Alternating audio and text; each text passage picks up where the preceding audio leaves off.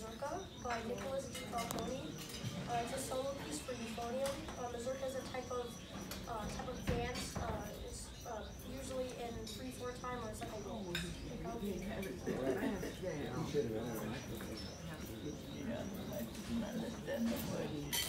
a roll. Oh.